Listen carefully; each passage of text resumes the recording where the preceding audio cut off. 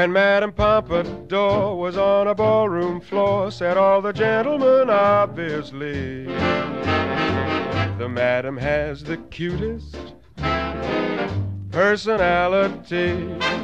And think of all the books about Du Barry's looks. What was it made of the toast to Paris? She had a well developed